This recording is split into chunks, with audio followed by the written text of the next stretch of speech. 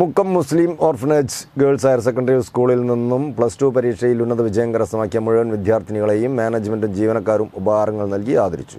Mukkam municipality chairman P T Babu പരിപാടി ഉദ്ഘാടനം ചെയ്തു. ഡോക്ടർ ആശിഷ് തോമസ് മുഖ്യാതിഥിയായി. പ്രിൻസിപ്പൽ മൊയിനുദ്ദീൻ പി പി അധ്യക്ഷനായി. Senior assistant Sonia Michael V Abdullakoya Haji Marakkar master Binu തുടങ്ങിയവർ ചടങ്ങിൽ സംബന്ധിച്ചു.